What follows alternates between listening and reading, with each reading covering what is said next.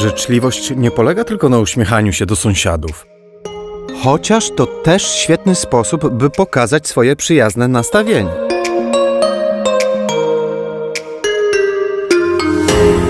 Zanim pokusimy się o zjadliwą krytykę, postarajmy się zrozumieć drugiego człowieka.